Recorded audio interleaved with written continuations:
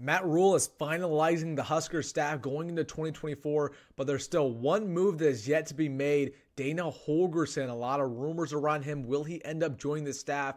So in this video, I'm going to break down whether or not he will actually be a part of the Nebraska Cornhuskers in 2024, what's going on with that situation, and everything else in between. So real quick, if you like the content, please hit like button on this video. It really helps me out along with subscribing to the channel if you don't want to miss out on any more Nebraska football content this offseason. We're only getting started. We're posting almost every day. So let's start to talk about Dana Holgorsen and what's going on with that situation. So, as we know, a couple weeks ago, news broke that the Huskers were targeting him to potentially add to this staff.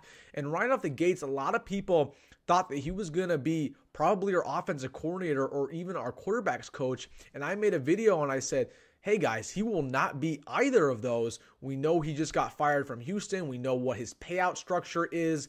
He does not want to jump right back into coaching, and we're already looking at a guy by the name of Glenn Thomas. A lot of people said, no, Wilson, you're wrong. He's going to be a quarterback's coach.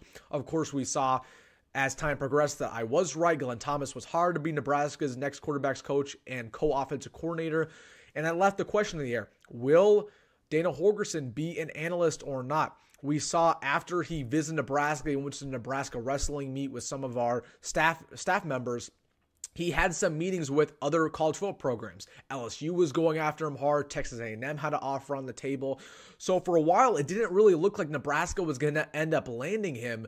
But now it looks like all signs point to Matt Rhule adding to adding him to this staff. Uh, looking at a credible source saying that Dana Holgorsen is expected to join this staff in the next month or so, and it's expected that his son Logan uh, will also be coming to Nebraska, a guy who has been around college football as well in NIL deals and recruiting deals. So that's something that his son will help with.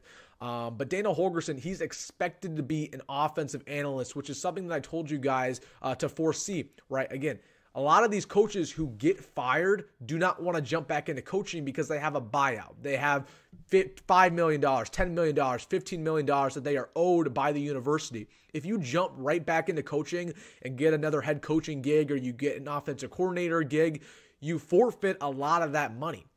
And I told you at the time, I said, Dana Holgorsen wants that money just like any other coach.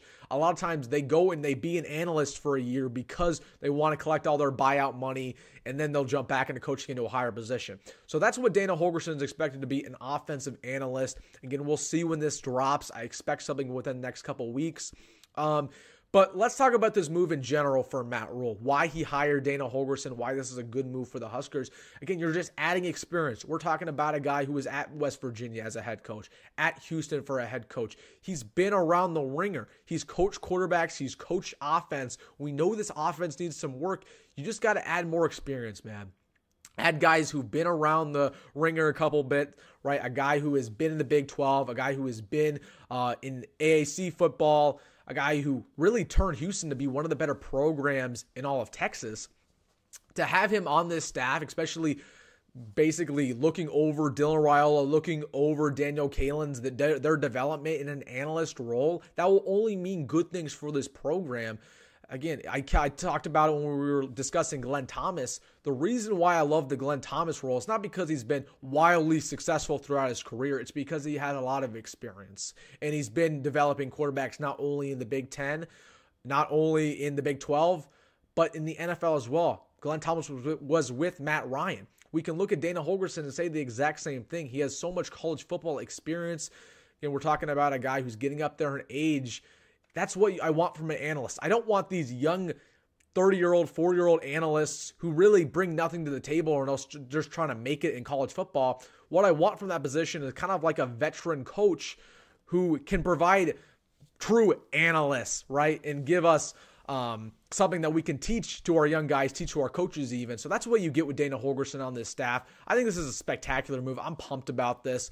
Um, would I would have rather had him at quarterback coach? I don't think so. I think Glenn Thomas was a fine hire. Again, he's familiar with Matt Rhule. It's not really a big deal there, but expect Dana Holgorsen to be announced within the next couple weeks. I thought I'd come on here address that real quick and why that's a good move and will it happen? I expect it to happen.